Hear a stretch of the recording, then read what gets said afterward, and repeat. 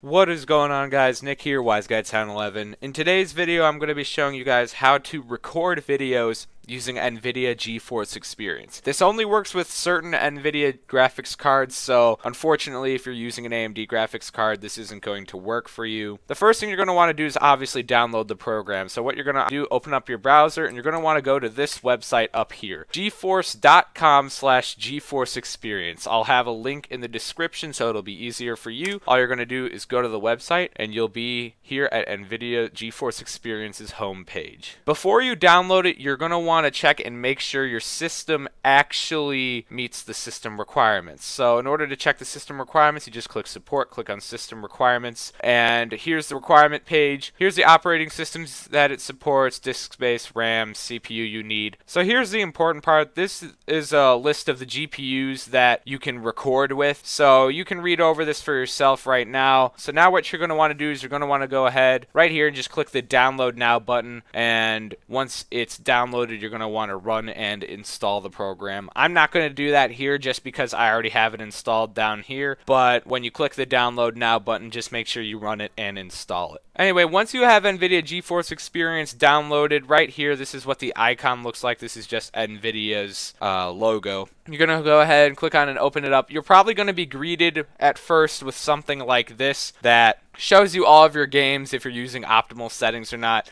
It might not recognize all of your games because only certain ones are supported for its optimization, but whatever. You guys aren't here for optimization, you guys are here for recording your videos. So once you've opened up GeForce Experience, you're going to want to go and click on the Settings tab up here. Once you've clicked on the Settings tab, you're going to go down here to In-Game Overlay, and you're going to want to make sure that this is checked on and highlighted green. This is going to allow you to, according to NVIDIA, easily record videos, take screenshots, play cooperatively, or broadcast your gameplay. Before you open up GeForce Experience, you're going to want to click on Settings and then click on Recordings. Here, you're just going to want to make sure that it has locations that your videos are going to be saved to. If you want to change your video location, you can do it here. Anyway, now that you've had this downloaded, this is selected, and you made sure that your videos are going to be saved to the right folder, you can open up GeForce Experience in two different ways. You can either open up GeForce Experience and go ahead and click on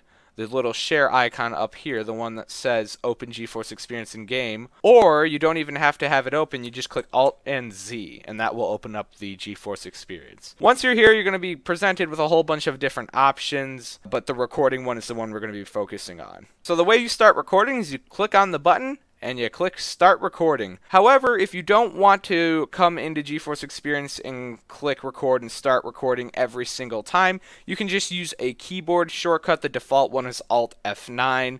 However, if you want to change that, the way you do so is you click on settings, click on keyboard shortcuts, and then down here you go to record. And then down here where it says toggle manual recording on and off and save you can just change the keyboard shortcut to whatever you want it to be. I just left it at the default alt F9 once you have that all sorted out you're going to want to click on customize. This is where you're going to be able to control your video's quality. So you can see here that it has some preset quality options, low, medium, and high. You're not going to want to use the presets. Usually you're always going to want to use the custom toolbar. And here you can select what resolution you want to actually record your videos at, whether it be 360p, 480p, 720p, 1080p, 1440p, or 4K. So a whole bunch of different resolutions you can record at. However, the one that I do recommend that you choose all the time is in-game resolution. All that means is that it's going to record your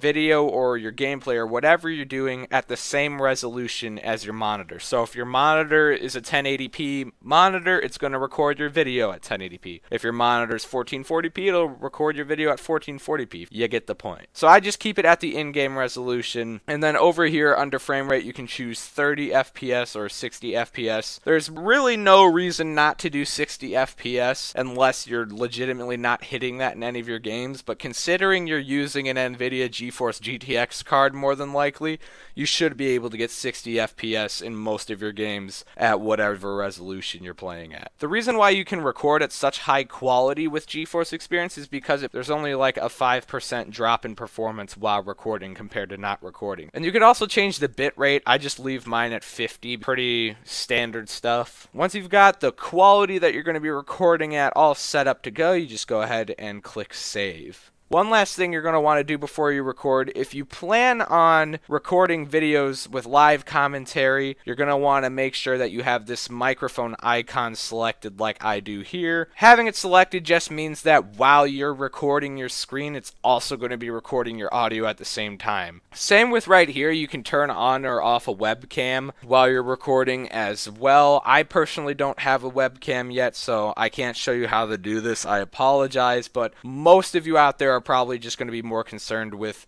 making sure this microphone option is selected. Anyway, once you have the quality selected that you want to record at and you have the microphone option selected if you're doing live commentary, it's time to start recording. There's two ways you can start and stop a recording. You can either click on record and click start, and then you're going to get a little pop-up right here in the corner that says recording has started. Whenever you're done with your recording, you just go back in, open it back up, and click stop and save. I personally do not use this method just because you'll have to do more work when you're editing because you're going to have to cut out the beginning part and the end part when you go into the actual in-game overlay to start and stop your recording. So the way I do it is I just use the keyboard shortcut, hit your keyboard combination, in my case that's Alt F9, and then that'll start recording the video. And then whenever you're done recording, you just hit that same keyboard combination. Once again, in my case, that is Alt F9, and that will save the recording. Once your recording has been saved and you want to go back and view it, all you have to do is go over to your downloads folder, navigate to the folder that you told GeForce Experience to save your videos to, and then voila, you should see a list of the videos that you have recorded.